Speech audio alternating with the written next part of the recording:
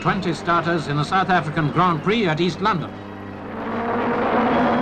From the very first bend, Jim Clark, the Flying Scotsman, is in the lead, close on the heels of his Lotus Climax, number one, the Brabham Climax of the American ace Dan Gurney, number nine.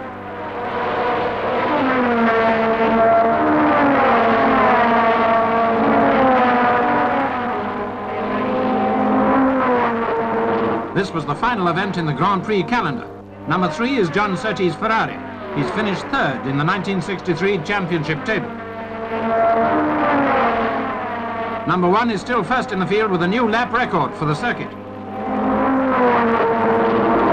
Richie Ginther's BRM overtakes a South African entered Alfa Special.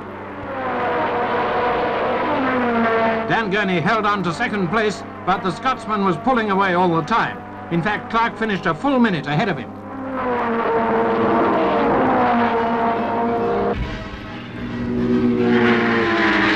Jim Clark, the first driver ever to win seven World Championship events in one season.